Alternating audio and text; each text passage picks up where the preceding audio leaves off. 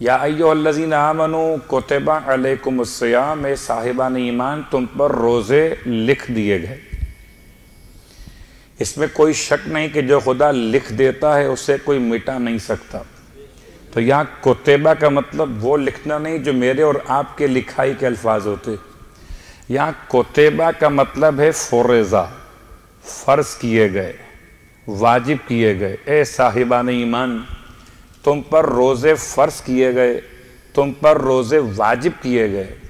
کما کوتبہ جیسے کہ فرض کیے گئے تھے، جیسے کہ واجب کیے گئے تھے۔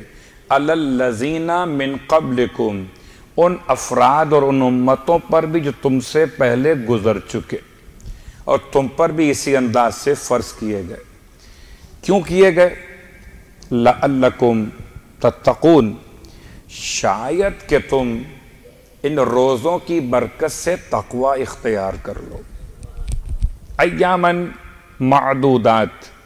میں نے آیت نمبر ایک سو چوراسی کا پہلا جملہ بھی اپنے سرنامہ کلام کی تلاوت میں شامل کیا۔ یہ کئی انسان گھبرا نہ جائے۔ کہ پروردگار نے روزے فرض کر دیے، کتنے فرض کیے؟ کہ ایامن معدودات اگر شروع میں بتا دیا جائے کہ آپ کی یہ فلائٹ جو ہے وہ چار گھنٹے کی ہے، تو انسان کے لیے آمادہ ہو جانا بڑا آسان رہتا ہے کہ چار گھنٹے بعد فلائٹ لینڈ کر جائے گی۔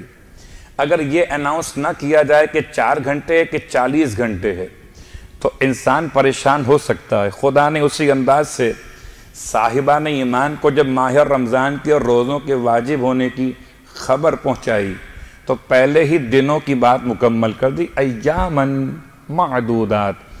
کہ گنتی کے چند دن ہیں جن کے لیے تم پر روزے فرض کیے گئے۔ یہ نہ سمجھنا کہ مہینوں رکھو گے۔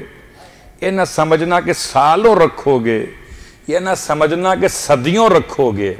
نہ یہ صدیوں پہ مشتمل ہیں، نہ یہ سالوں پر مشتمل ہیں، نہ یہ مہینوں پر مشتمل ہیں۔